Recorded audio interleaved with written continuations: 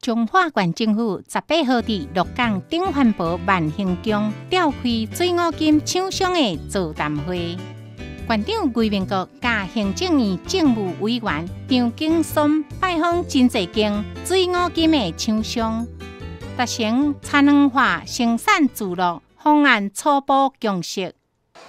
啊，不污染环境，哦，不逃漏税，不，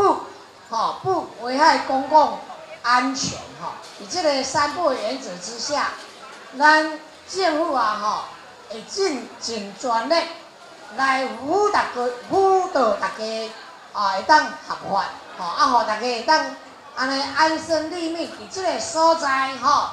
为中华、为台湾、为咱的这个地方的这个发展吼，咱共同来拼经济安尼，好唔好？这个新店都市计划会做一个详细的规划，然后让里面的工厂将来能够合法来经营，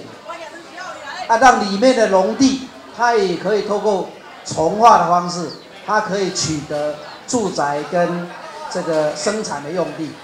啊，我们将来会是一个真正的落实蔡英文总统的所谓田园化的生产聚落啊这样的一个政策构想。今天从中央政府以及我们的地方县政府所有的团队为我们这个台湾水五金的一个专区付出非常的努力。那我们希望我们在地的这些业者抱着很乐观的一个心态来把这个事情让这个地方发展更有前途，更更有台湾。谢谢。